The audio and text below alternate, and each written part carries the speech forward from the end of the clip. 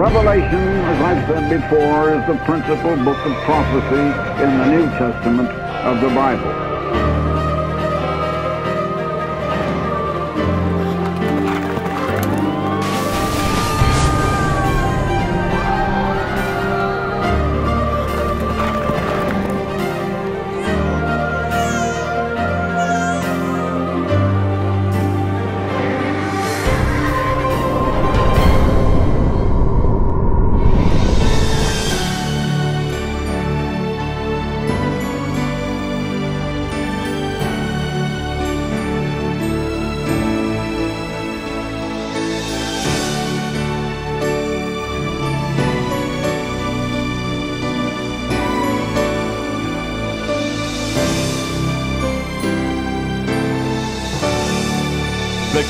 David with Gerald Flurry.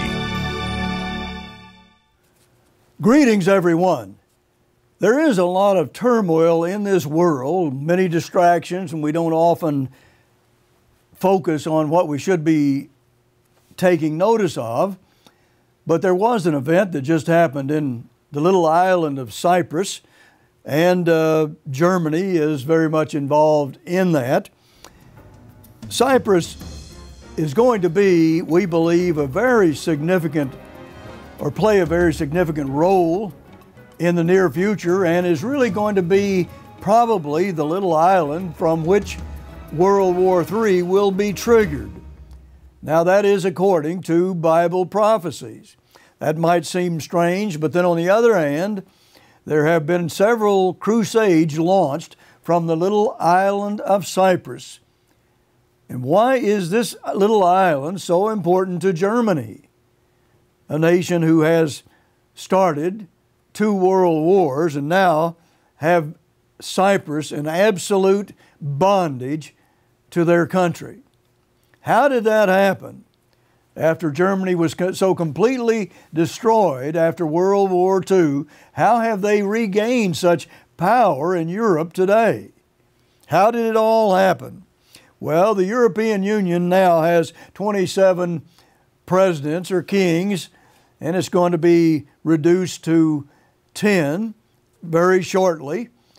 But Cyprus is going to be a part of that 10 nations which comprise or will comprise the Holy Roman Empire, and it's almost there for everybody to see already. And of course, the Holy Roman Empire has a very bloody future if you know anything about history. But think about this the little nation of Cyprus is a powerful watchpost for anybody who has that little island and wants to survey what's going on in the Middle East. And Germany and Rome certainly do want to do that. They want to watch that very closely. This is the beginning, really, of one of the greatest military missions in this end time. And it's something that everybody ought to be taking note of, and we've been talking about it for many years. But not too many people seem interested. But there was a recent election in Cyprus, and they have allied themselves with Germany. I also want to mention some little history about Cyprus. Some 30 years ago, the president of Cyprus invited uh, a religious leader in, and this religious leader gave him a mysterious message that he was moved by, and we think it has great significance even for today. And I'll give you more on that in, in a few moments. But let me give you just a little background on what just happened in Cyprus. They needed a bailout, like most other nations in Europe and like the U.S. and the UK and, and uh, many other countries. But they, the candidate who won was uh, allied himself with German Chancellor Angela Merkel, and he won by a landslide. That's a uh, something to take note of because they won like 57.5% of the vote. And, uh, and Angela Merkel stood strongly behind this man, and he won the election by a landslide. Now, let me read you something here that happened not too long ago, and it will show you some of the uh, tension there in that little island because, well, Iran also is taking note of what's going on there, much more so than the United States. Notice what we wrote in thetrumpet.com August 2nd, 2012. The recent capture of a suspected Hezbollah terrorist acting on behalf of Iran in the Cypriot capital Nicosia further fans the flames of regional tensions and underscores the geopolitical importance of this nation for various national groups and as a bridge to Jerusalem. Well, we keep hearing Jerusalem. Everybody wants to conquer Jerusalem. Certainly, Europe wants to get control of it, and Iran and the radical Islamic movement wants to get control of it. But let me read to you about this strange event 30 years ago. Here's what we wrote in the wrote about that. The current leadership in Cyprus is probably unaware that 30 years ago in a stunning 1980s World Tomorrow television program recorded shortly after visiting Cyprus, Herbert W. Armstrong told his millions of viewers worldwide why he was continuing to meet with heads of state.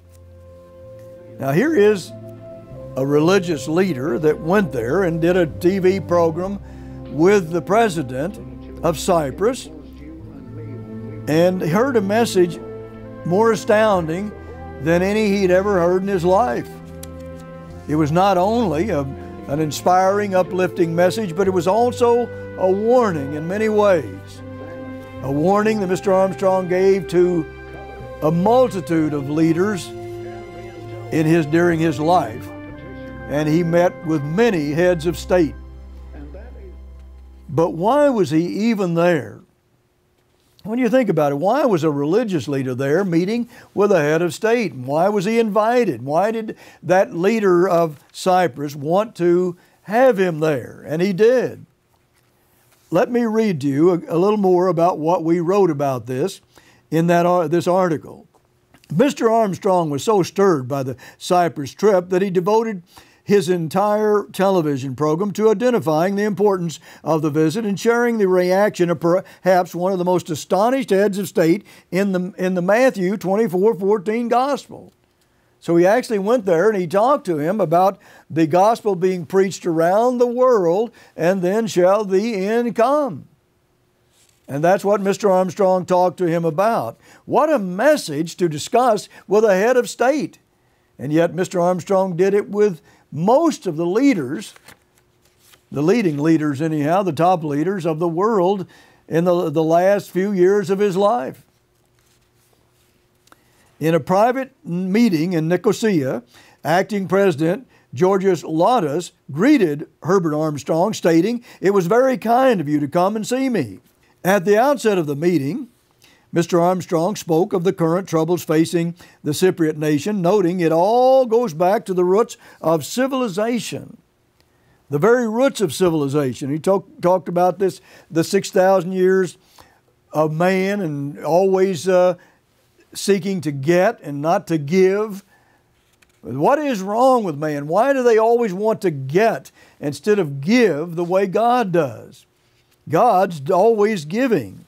But notice what we wrote. Discussion then centered upon the biblically prophesied seventh resurrection of the medieval Holy Roman Empire, combining both church and state in Europe, dominating the world. Well, now that was quite a message to deliver to this head of state.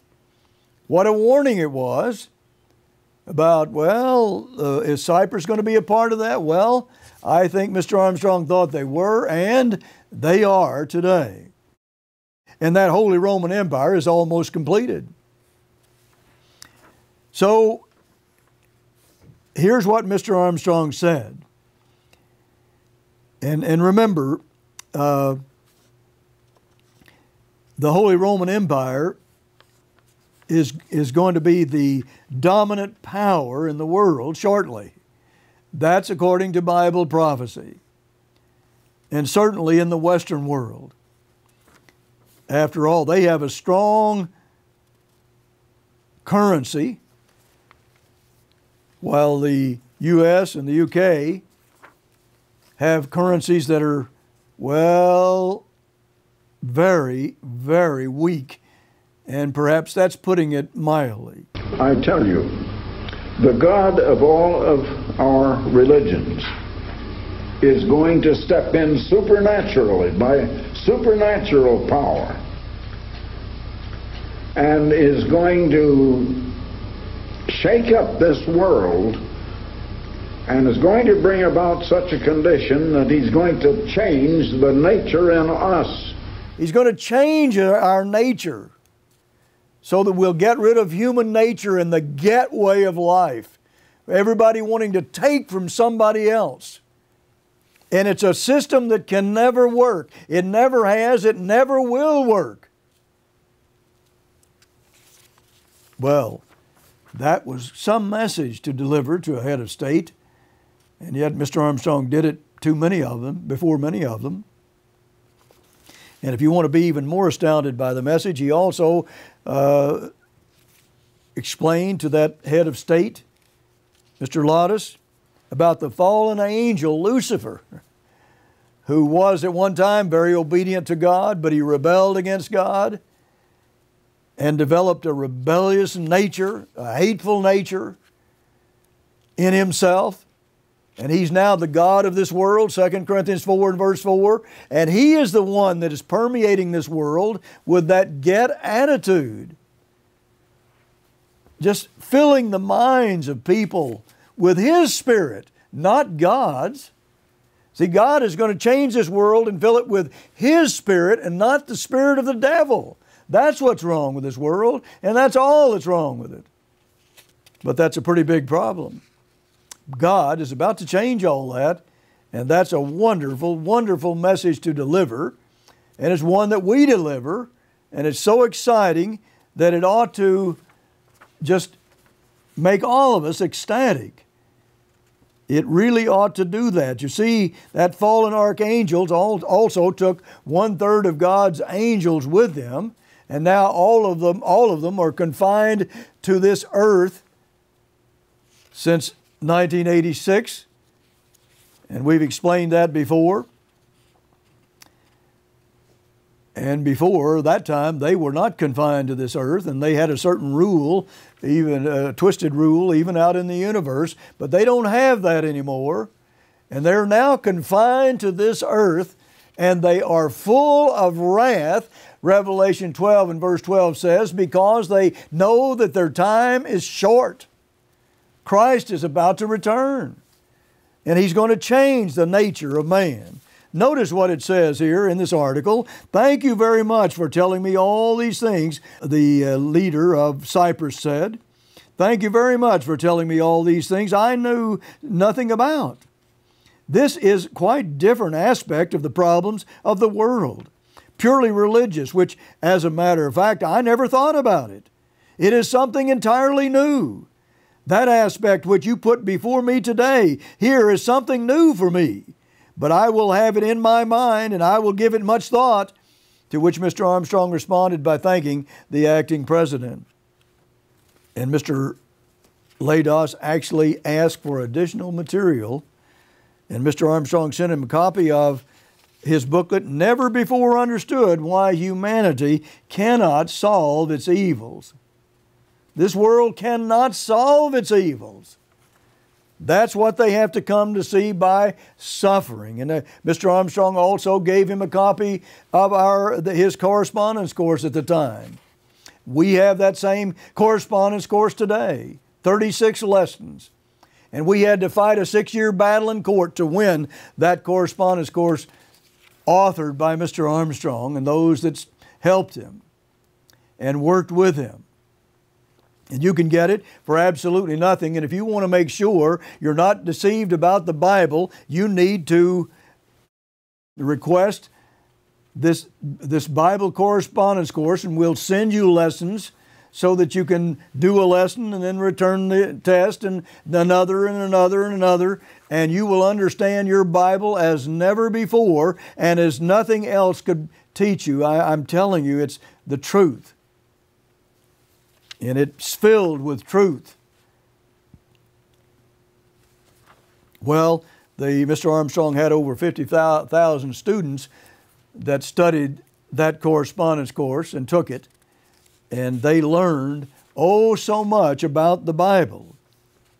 Now then, the, the leader today, Anastasiades, I believe that's pronounced, still has a tough job ahead of him. Cyprus needs a bailout of 17 uh, billion euro. That's about 22 billion US. Cyprus is a vital strategic location, and Germany's leadership may be excited about snapping it up for a bargain basement price. Now, why would Germany want Cyprus? Why would they invest so much in Cyprus? Even though the people in Germany are against it. Notice this, and that may have consequences that also fulfill another great prophecy in your Bible. It's coming soon and probably this year a world leader is going to come on the scene that's going to shock the entire world. And he will rule over what is known and will be known as the Holy Roman Empire. But notice this the article we wrote here, uh, the trumpet.com 63% of those surveyed in a poll released a few days ago were against bailing out Cyprus. Only 16% were for it. 60% said it was something very important or important when it came to selecting Germany's next chancellor. Wow. Well, that could have an influence on the uh, election this, this autumn. That uh, Angela Merkel will have to be uh, running again to gain that office another time. But is there going to be another leader? We believe strongly that there is out of all the turmoil of the election will come a strong leader who's prophesied in Daniel 8 to do some very powerful things in the world. That's what your Bible teaches in about a hundred prophecies in your Bible. And yet, religious leaders today know almost nothing about that. Why? Why not? Well, this article says this makes it a tricky situation for Merkel, who is up for election in the autumn. Yes, indeed. And uh, what is going to come of all of this? Germany, who started two world wars, is now now has the little uh, nation of Cyprus in bondage, and it has to obey German Germany's parliament. And if they keep getting this bailout one uh, uh installment at a time, they have to get the German parliament's approval each on each install, installment. Now, how about that for taking over a country without military force? Without military force. Another comment from uh, trumpet.com, June 2nd, 2010. Cyprus, an EU member nation, has been pivotal in geopolitics for millennia. Well, of course, it's always been a, a great uh, nation to plan your strategy around. Right there in the Mediterranean Sea, that great sea in that part of the world. The, it continues to be of great importance for a variety of strategic reasons to the European Union as a base for the future projection of European power into the Holy Land, the Middle East, and the Persian Gulf. Both Rome and Berlin, the main drivers behind the EU expansionist vision, understand the vital geostrategic position of Cyprus as a Christian military outpost and the key seagate within the Islamic Middle East arena. Well, what do you know? We have some people there that really do plan their military strategy. That's something you don't hear much about in the U.S. or the U.K. or even in the little Jewish nation in the Middle East. See again, the what, what what's happening here is the radical Islamic movement is doing everything they can to get control of Jerusalem, which is one of their most holy sites. But Europe also, the Holy Roman uh, Empire also wants to get control of Jerusalem. It's the crusade all over again. And it, to the uh, Holy Roman Empire, Jerusalem is a very holy site, perhaps the most holy the, uh, they have. certainly one of the most holy sites. But uh, this article says, as an EU member nation, Cyprus offers key forward geostrategic military base and a virtual island aircraft carrier for these coming missions. Due to the proximity of Cyprus to the whole Middle East region, European fighter jets can very easily cover much of the region without refueling. Now you can see why this is important because, as it says there in Daniel 11 and verse 40, as we've said so many times, the king of the north and the king of the south are going to clash. The king of the south, that is led by Iran, is going to push at Europe, led by Germany, and Germany is going to come against them like a whirlwind and destroy them. But that's not going to end their path of destruction. It's going to go much further than that, and you need to understand where it's going from there. And our book on the United States and Britain and prophecy will explain that to you if you don't have it. One more quote here the geostrategic position of Cyprus, located at the crossroads to the Aegean and Mediterranean seas and Suez, possessing good seaports, notice this, possessing good seaports, airports, and radar surveillance systems to survey the skies across the Middle East, Persian Gulf, and North Africa makes it a great watching post over all the Middle East Islam. Whoa, what is happening here? What is about to happen there? Well, Daniel 11 and verse 40 is about to be fulfilled there. Well, it'll, it'll be fought uh, initially from there, we believe, and I think it's pretty obvious that that's the way everything is going right now. This is going to be the final crusade to take Jerusalem, the final one. And then Jesus Christ is going to turn, return, and he's going to establish his headquarters in Jerusalem, and he's going to begin to change the nature of all humanity and bring us the peace and joy we should have had throughout our history, but we have never had it. And I'll just one little aside here. Hugo Chavez just died, and he wasn't a good friend of the U.S., but he, his country has the fourth greatest amount of oil in the world. And America thinks now this is going to be good for them, that he has died, and maybe they'll get a uh, a better leader, but let me tell you, this is not going to be good for America or for Britain or for the Jews in the Middle East because this Latin American power throughout the, the power throughout the, uh, the uh, South America and uh, Central America is going to ally itself with who? Why, why Germany and the Holy Roman Empire? And we've been speaking that to this world for over 60 years. And it's all prophesied in your Bible. It isn't something we have to guess about. Latin America is going to become our enemy as well. Now, you can prove that from your Bible, but if you'd like to know more about Cyprus, why I did a, I have a, a video that the uh, you can receive. It's Cyprus surrenders to Germany if you want more background on this amazing subject.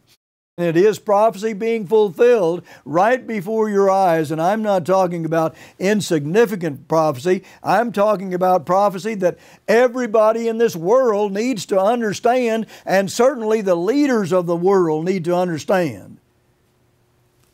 And that's why Mr. Armstrong was there in Cyprus. And that's why all of the world leaders need to be warned about what's coming whether they believe it or not, because it all is about to explode on the world scene, and then Jesus Christ is going to return and bring us the happiness and joy that is going to last forever and ever. Until next week, this is Gerald Flurry. Goodbye, friends. To understand much more about how events in Cyprus will affect Europe, Russia, America, and the Middle East, request the free literature we're offering today. Request our free booklet, History and Prophecy of the Middle East. Cyprus is a strategic military location, allowing access to the Middle East region. Europe and Russia both want this vital island. But this island will not be used to bring peace. The next time you read about peace in the Middle East, consider the facts. For over 4,000 years, the Middle East has been fraught with cultural, political, and religious violence. Much of this history is recorded in the history book almost no one relies on the Holy Bible. And what makes the Bible so unique compared to other historical accounts is that it has recorded much of this history before it occurred. In this booklet, we cover both parts of Daniel's prophecy in Daniel 10 and 11 that which has already been fulfilled and that which will be fulfilled. Once you discover how astonishingly accurate Daniel was in recording events that have since happened, there should be no question that what he said would happen in the near future will in fact happen.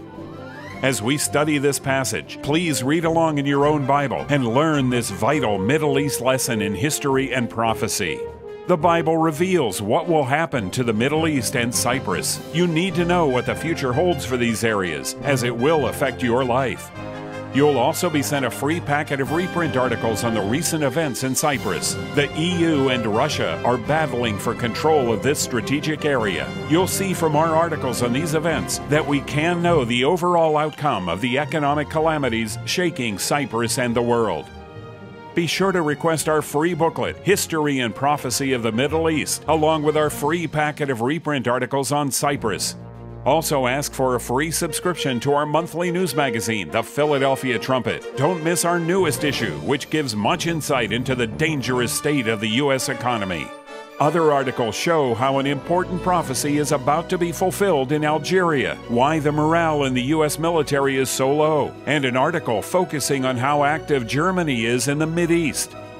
This is an issue you can't afford to miss. Also, visit us online at thetrumpet.com for daily columns and news update videos. There you'll see our From the Editor section, which includes weekly web exclusive videos from Key of David presenter Gerald Flurry.